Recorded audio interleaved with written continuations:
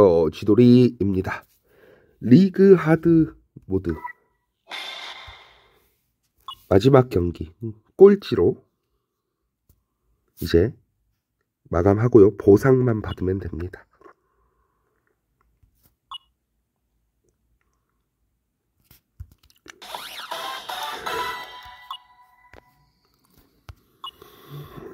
KBO 2034 하드모드 꼴찌예요. 12. 롯데가 우승하네요. 우리 팀은 12로 24,000포인트가 지급되고요.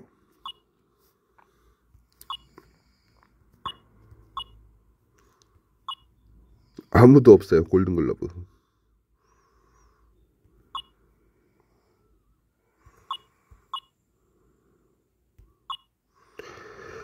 차우창과 해커가 우승을 아니 부문별 부문별 수상 보너스를 받았고요.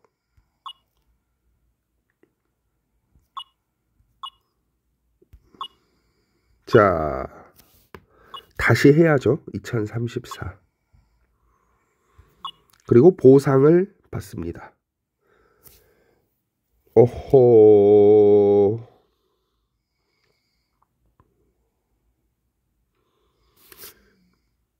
음흠, 돌려. 김광현, 이대형, 정순명. 한 번 더 돌려. 뭐 레전드 재료도 안 나오고 그렇다고 내가 필요한 것도 나오는 것도 아니고 그쵸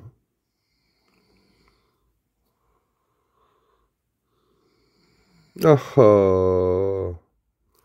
김건우 선택하겠습니다.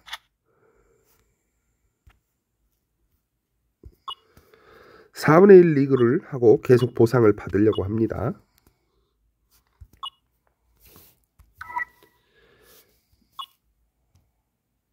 자, 그 다음에 팀 관리.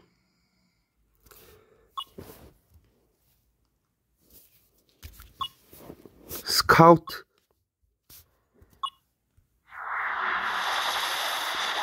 김민호. 박정준.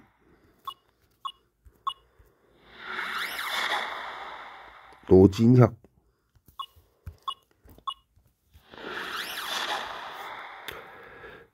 필요한 게 안 나와요.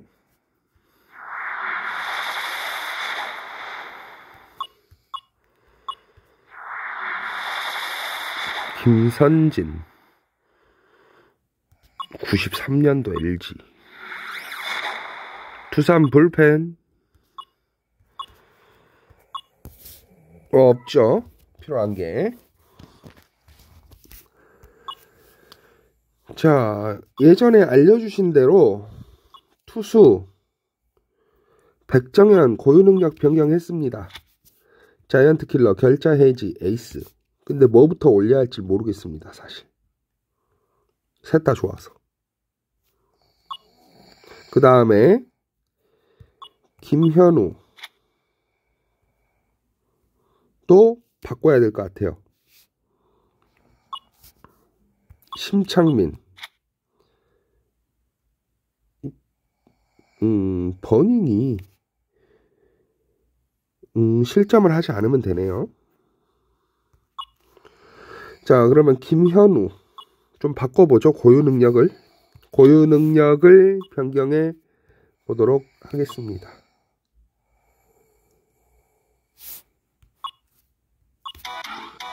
뚜동똥 이 이게 아니야. 이 소리가 아니야. 아하 아니야 아니야 아니야. 뚜동똥 아니야 아니야.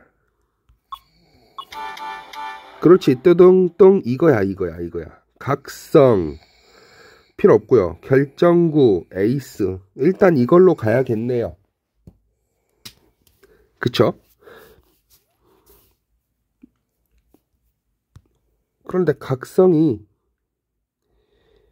첫 실점 여보등 능력치가 증가합니다. 결정구 에이스. 여러분이 여러분이 좀 알려줘야 될 것 같아요. 제대로 하고 있는 건지.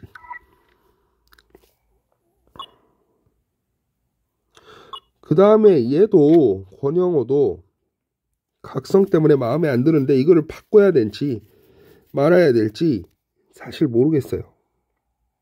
고유능력 변경권이 10개가 있는데 이 10번 안에 3개가 3금이 또 나올런지 아닐지 나도 모르겠어요. 고유 능력 변경을 하고 싶은데 캡틴이 있어서 함부로 못 바꾸겠어요. 못 바꾸겠어요. 그렇죠.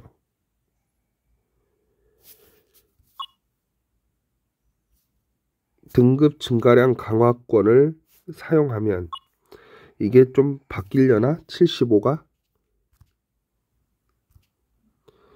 권영호도 등급 증가를 좀 바꾸면 바꿔야겠네요. 해커는 사실 해커도 고유 능력을 변경해야 돼요. 내가 그때는 몇 년 전인데 야전 지휘 이거를 추가 강화를 뭘 모르고 한 거예요. 한 5년 전에. 아하 마음이 아프죠. 클로이드는 등급 상승을 한 다음에 바꿔야죠. 임창용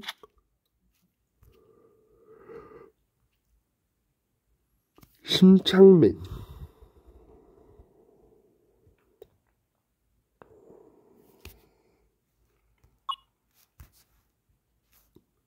지고 있을 때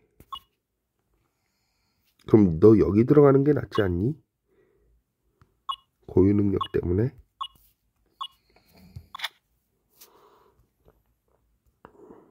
차우찬도 수호신 때문에 마무리를 쓰는데 나중에는 결국엔 선발 투수를 써야 돼요. 음. 자. 그러면 저는 일단 여기까지 하고요. 시그니처 들어갈 만한 친구가 있냐 없냐 아직도 없구나. 응? 이건 뭐야? 서재응 86 90 이상 어허 변화구가 90 이상. 그럼 강화를 해야겠네?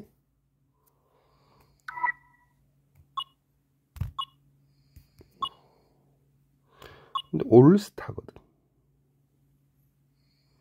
일단 넣어놓는 게 좋긴 한데. 강화를 좀 하죠. 변화구가 올라가야 돼 그런데. 변화구는 또 잘 안 올라가거든 어, 잘 오르네. 오케이, 됐어. 그만.